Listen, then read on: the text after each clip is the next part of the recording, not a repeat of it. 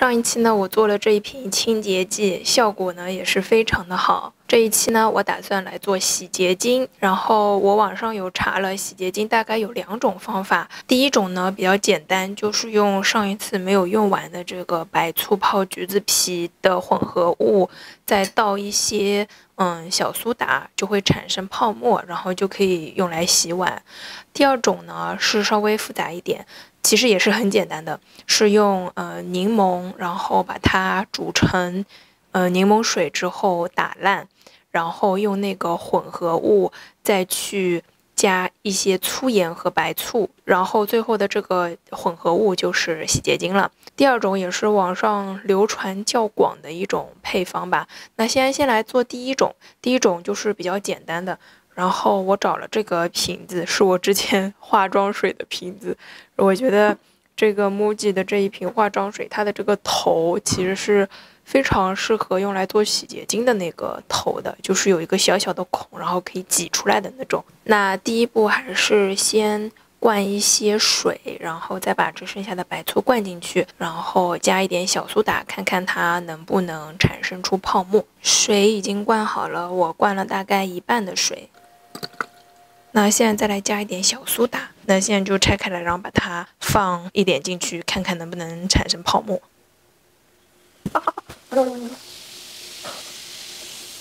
应该是碳酸氢钠，然后这一瓶里面它其实是酸，因为它是醋嘛，醋酸，所以酸和碳酸氢钠反应应该会产生大量的二氧化碳。其实我刚没有加很多，但是它反应非常剧烈，然后一下子就扑出来了，呃，然后它那个效果就像。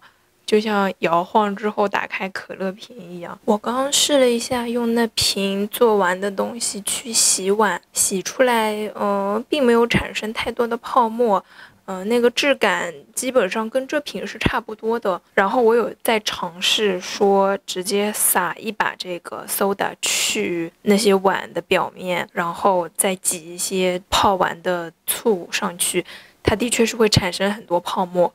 但是就是那一瞬间的事情，要用这个材料和这个材料来做一瓶洗洁精的话，并不能完全做成我们想象的那样，而是要通过加一点这个和再加一点这个，来做成一个洗洁精的效果吧。所以那瓶我就打算留着，然后之后再用来做清洁剂。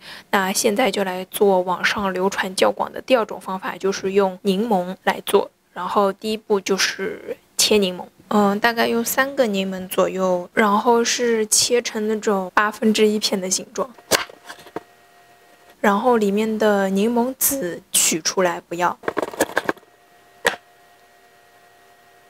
我觉得差不多了，因为我的柠檬比较大一点，所以我打算这一次就先用两个。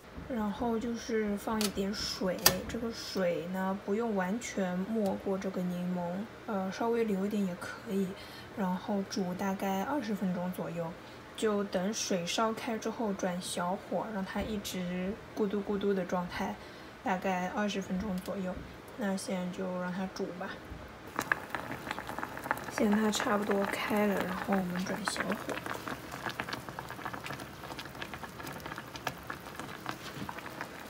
然后就让它一直煮大概二十分钟左右，把里面的柠檬都煮软，然后把柠檬的味道都煮出来。我现在就可以闻到整个房间里都是这个柠檬的香味飘出来，好好闻。现在差不多过了二十分钟左右了，然后可以看出它已经煮得非常的烂了，然后水也少了一点了。然后这个时候稍微再加一点冷水进去。然后把它放到呃榨汁机里面，或者你有这个棒子的话，直接可以在这个锅子里面把它搅碎。榨汁机里打完之后是这样子的，粘稠的，居然有点奶白色的那种状态，然后是糊糊状的。然后呢，这个时候需要把它过滤一下，因为里面可能会有一些柠檬皮没有全部的被弄开。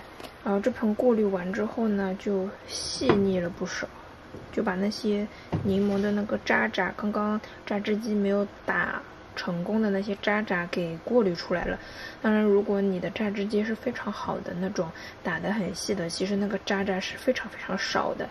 然后把这一缸全部再倒回去，然后倒进锅里之后，它的这个嗯颜色其实比刚刚细腻很多了，因为我都过滤过了嘛。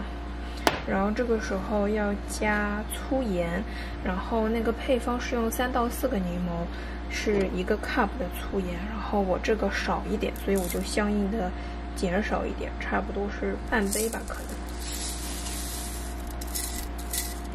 然后再加一点白醋，然后我这个因为家里白醋都用来做这个清洁剂了，这个就相当于泡过柑橘的白醋，反正味道也是差不多的，我就再加进去。然后这个时候重新开火煮个十到二十分钟。好，我这一锅差不多煮了十分钟了，然后当中适量搅拌一下，然后让里面的那个粗盐可以融化。再煮一会儿呢，就可以关火，然后冷却。装瓶之后就可以直接当洗洁精来用了。然后它也可以直接放在洗碗机里面，就那个小格子倒一点进去，跟。跟那个你买的那个洗碗机的那个小方块用起来是一样的效果。OK，刚刚我用自己做完的洗洁精去洗了一下碗，效果比之前那个好一点。它不会产生特别多的泡沫，但是它去油渍的效果跟就是超市里买的洗洁精的效果是差不多的，所以我觉得它完全可以用来做洗洁精的替代。然后由于它里面基本上组成的成分就是柠檬嘛，所以。嗯，不用的那一部分就是要放冰箱保存。我觉得还蛮开心的，自己做了洗手液、洗洁精，还有嗯清洁剂，然后效果都挺好的。以后就不用去超市里买这些，然后不断的产生一次性瓶子了。OK，感谢你收看这期，拜拜。